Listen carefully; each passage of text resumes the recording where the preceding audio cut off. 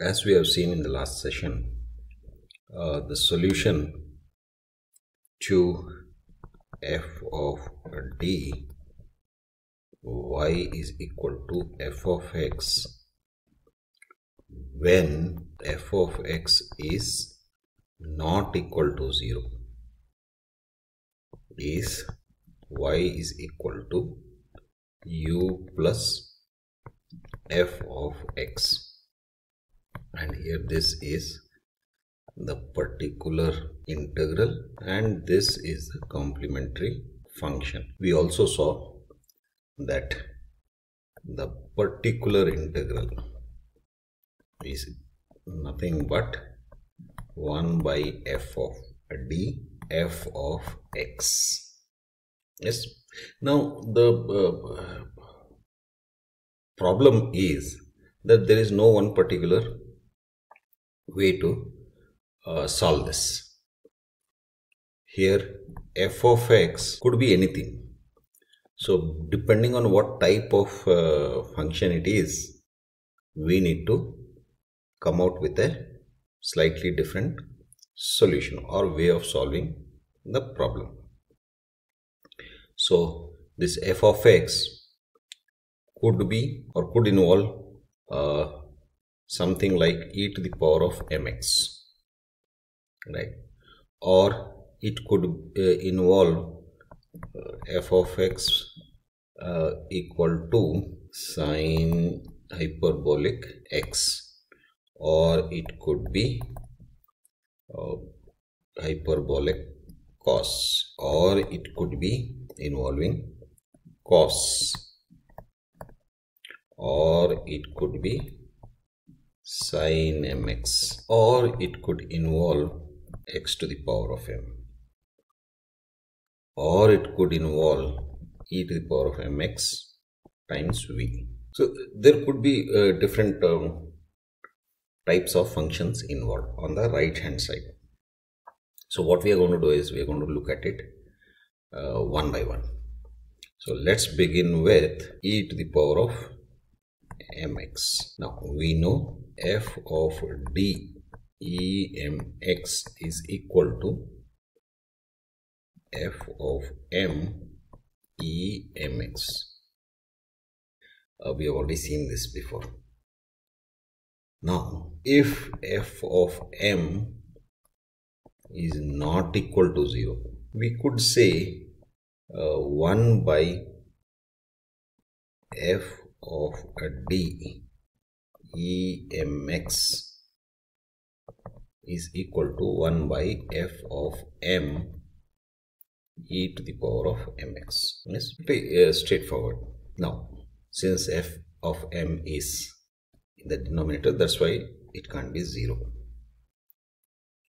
Now, let's verify this f of b times 1 by f of m e to the power of mx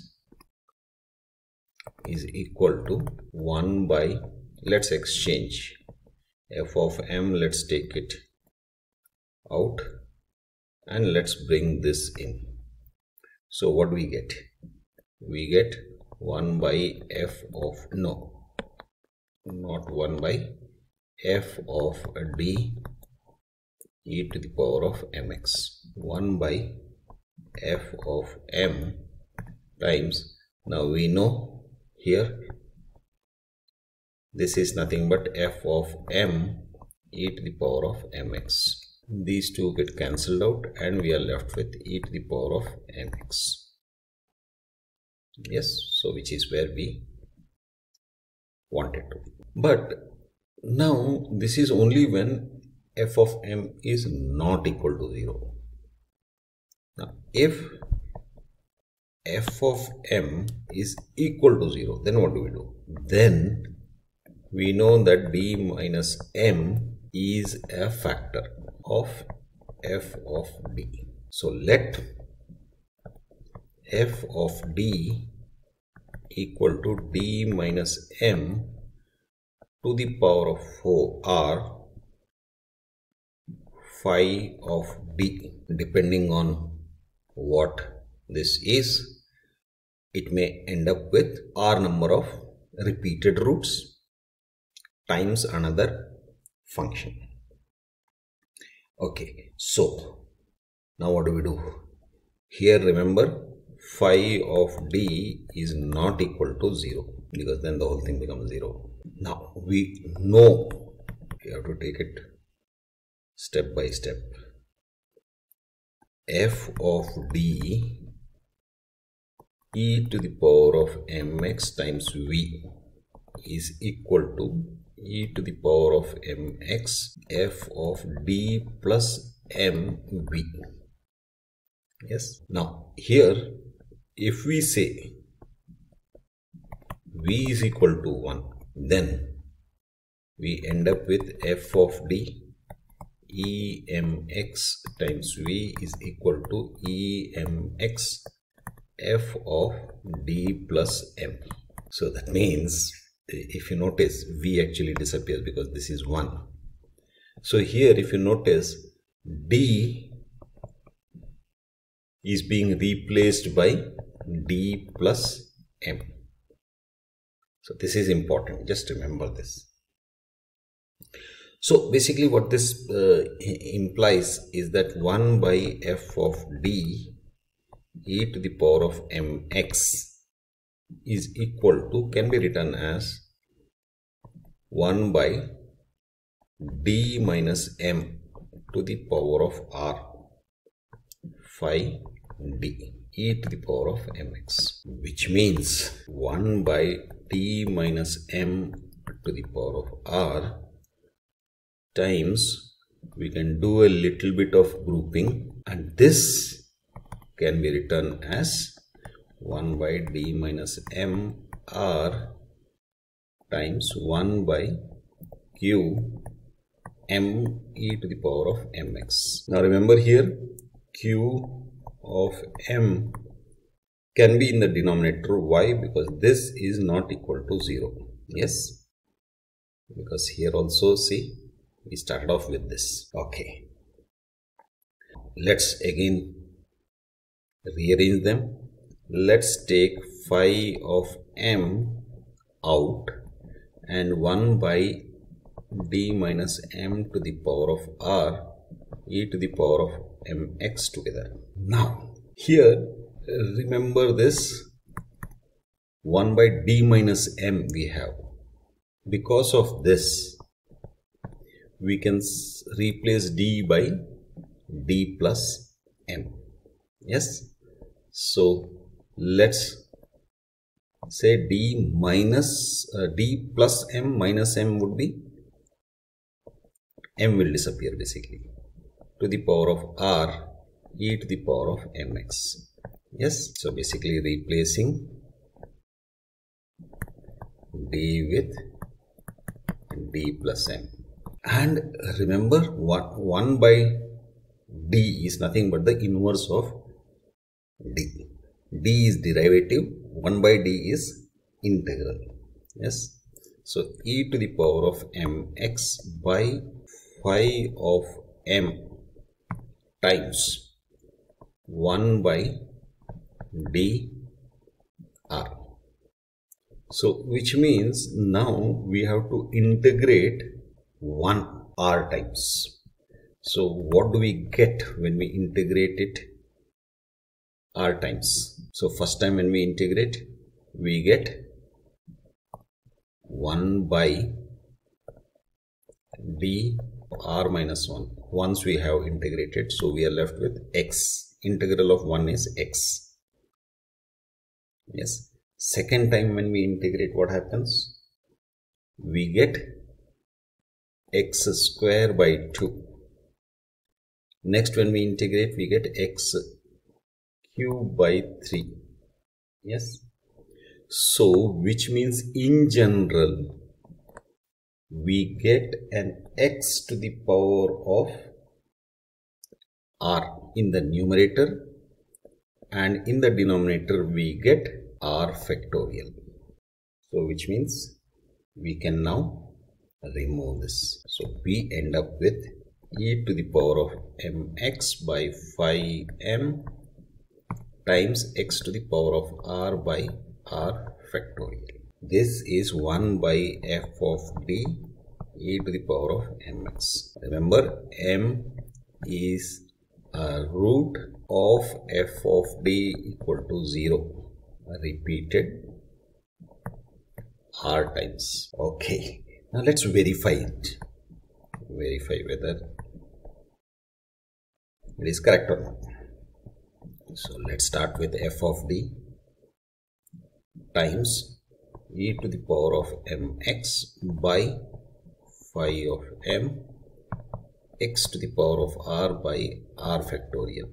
This can be written as d minus m to the power of r phi m yes f of d is equal to somewhere we have here I have seen taken it in the denominator part only f of d is equal to d minus m r phi of d times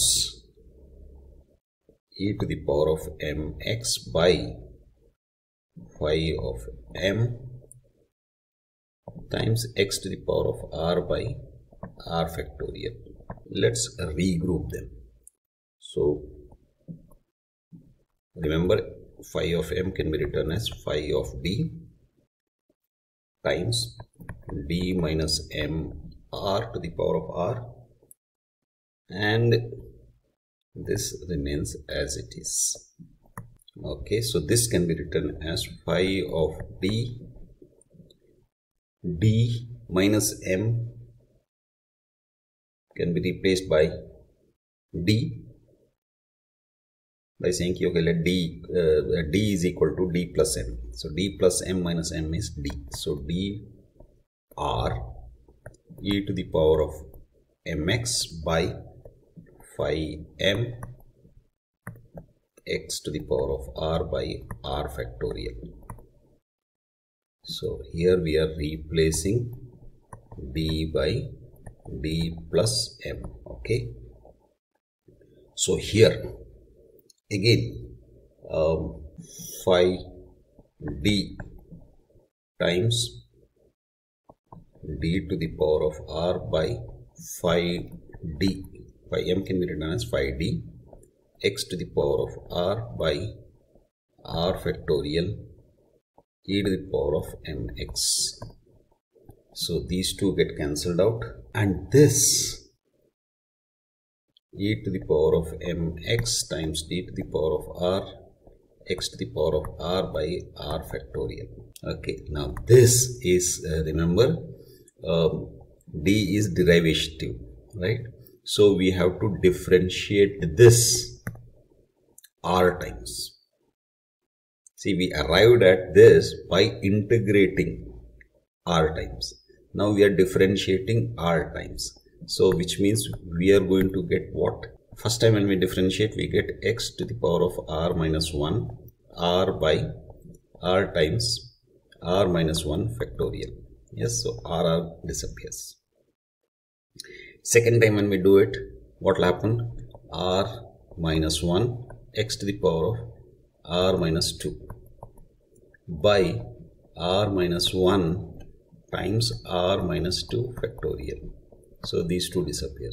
This will keep on going till this disappears, till we reach 1. So at which point this would become 1.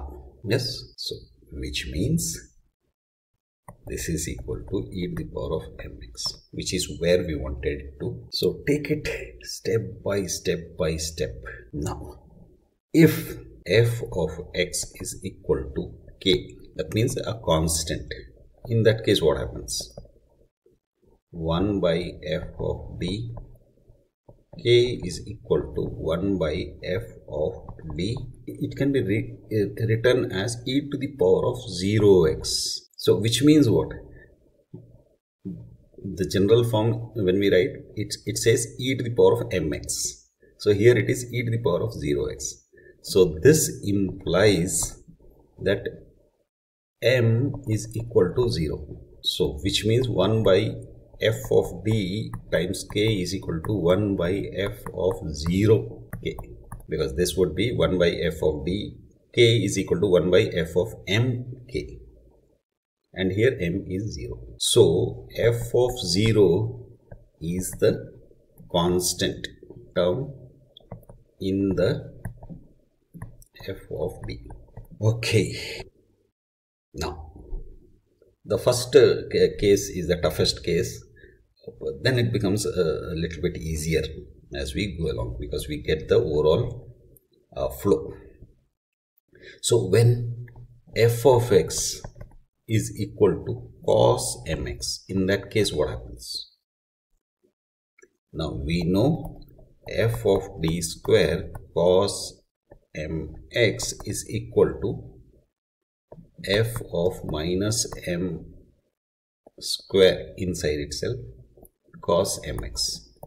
Yes? So which means we can write it as 1 by f of d square times f of d square cos mx is equal to 1 by f of d square times f of minus m square cos mx yes we can substitute this d with minus m square. Here we don't have to do, uh, no substitution is required. So these two get cancelled directly. So we end up with cos mx is equal to here 1 by f of d square times f of minus m square cos mx. And similarly when f of x is equal to sine mx in that case it would be sine mx is equal to 1 by f of minus m square sine mx. Okay? Now when we have f of x is equal to e to the power of mx times v. Now remember here in in the first case when we looked at this particular aspect where is that? Uh, here. Right? e to the power of mx times v. We here we treated v as 1 so basically it was as if it is not there. So it was a special case here we are talking of v not equal to 1 right when v is a function so where v is equal to a function of x some function of x. So in this case, f of d e to the power of mx v is equal to, again remember we are bringing it from there itself, e to the power of mx f of d plus m v. So basically we can say 1 by f of d e to the power of mx v is equal to e to the power of mx times 1 by f of d plus m times v. To verify what we are going to do is we are going to take this right hand side multiply it by f of d and we should get back e to the power of mx times v. Okay let's see.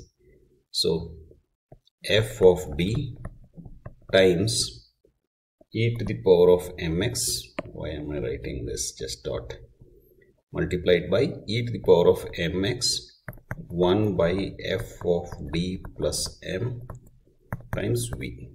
Yes? So this is the right hand side.